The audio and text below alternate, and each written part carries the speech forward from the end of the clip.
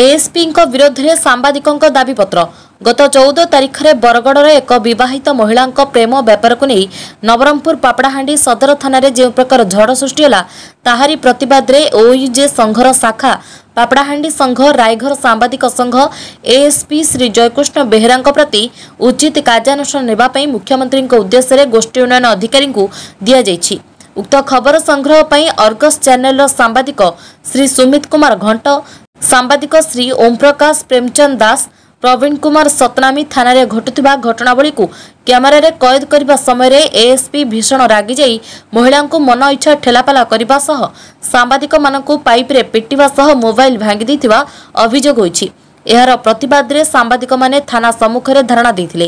Nabarangpur SP Kumari S ସୁଶ୍ରୀ ଛୁଟିରେ ଥିବା ଯୋଗୁଁ ଅତିରିକ୍ତ ଜିଲ୍ଲାପାଳ ଶ୍ରୀ ଭାସ୍କର ରାଇତ ଧାରଣାସ୍ଥଳକୁ ଯାଇ ସାମ୍ବାଦିକମାନଙ୍କୁ ବୁଝାସୁଝା କରିଥିଲେ ଜିଲ୍ଲାରେ ଜଣେ ଦକ୍ଷ ପୋଲିସ କର୍ମଚାରୀ ସବୁକିଛି ଭୁଲି ଯାଇଥିବାରୁ ଯଥାଶୀଘ୍ର ଏଏସ୍ପିଙ୍କ ପ୍ରତି ଉଚିତ କାର୍ଯ୍ୟାନୁଷ୍ଠାନ ନେବା ପାଇଁ ସାମ୍ବାଦିକ ସଂଘ ଦାବି କରିଛି। ନବରଙ୍ଗପୁରରୁ ସୀମାଦ୍ରି ପଟ୍ଟନାୟକଙ୍କ ରିପୋର୍ଟ ପରିଦର୍ଶକ ମିଡିଆ।